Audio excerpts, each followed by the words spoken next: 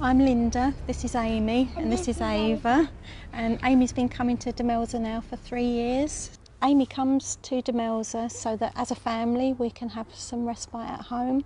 Amy's got an undiagnosed syndrome um, and she doesn't eat, she's fed through a gastrostomy um, in her belly, so she's fed constantly throughout the day. So it, it does take up a lot of time at home. So it is nice to have that break when she comes here and to know that she's looked after. The level of support that we get from Demelza is amazing. It's not just respite for Amy, but um, they put on activities so that we can do things as a family together that we wouldn't be able to do otherwise. The level of care that Amy gets at Demelza is really, really good. Um, I mean, it is really one-to-one.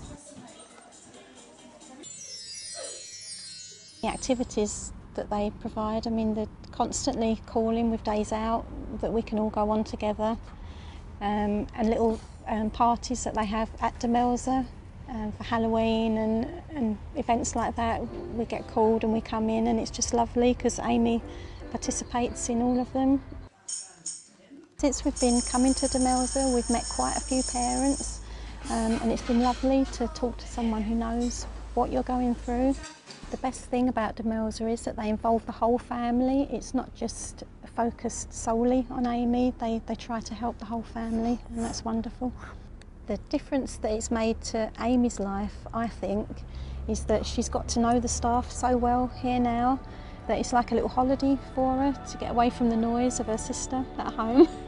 um, and it's just lovely for her to come in and do something different.